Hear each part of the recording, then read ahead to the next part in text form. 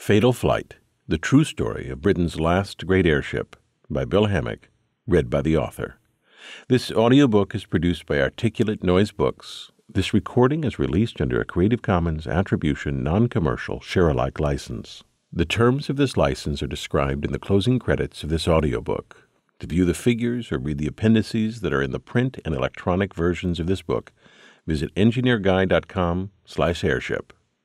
Fatal Flight brings vividly to life the dramatic year of operation of R101, the last great British airship.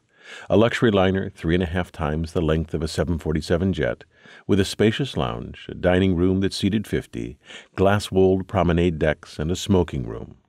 The British expected R 101 to spearhead a fleet of imperial airships that would dominate the skies as British naval ships a century earlier had ruled the seas. The dream ended when, on its demonstration flight to India, R 101 crashed in France, tragically killing nearly all aboard.